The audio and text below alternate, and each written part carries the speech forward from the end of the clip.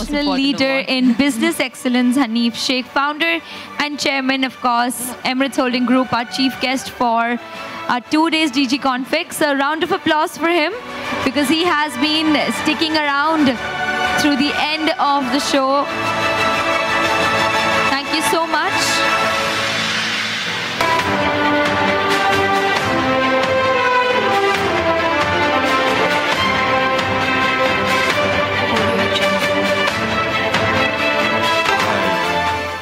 Amazing experience, such positivity, powerhouse of positive energy.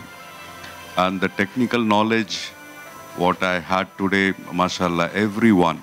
We had less people, but what I see, everyone like experts, champions of their field actually. And I really congratulate Maithili and her team for this hard work and taking this effort, creating this platform. Congratulations.